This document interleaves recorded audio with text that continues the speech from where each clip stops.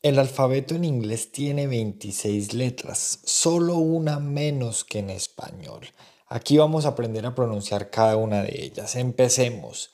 A, B, C, D, E, F, G, H, I, J, K, L, M, N, O, P, Q, R, S, T, U, V, W, X, Y, Z o Z en el Reino Unido.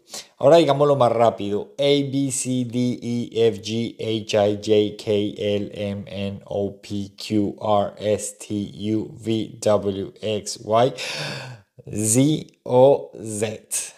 Sigan para más.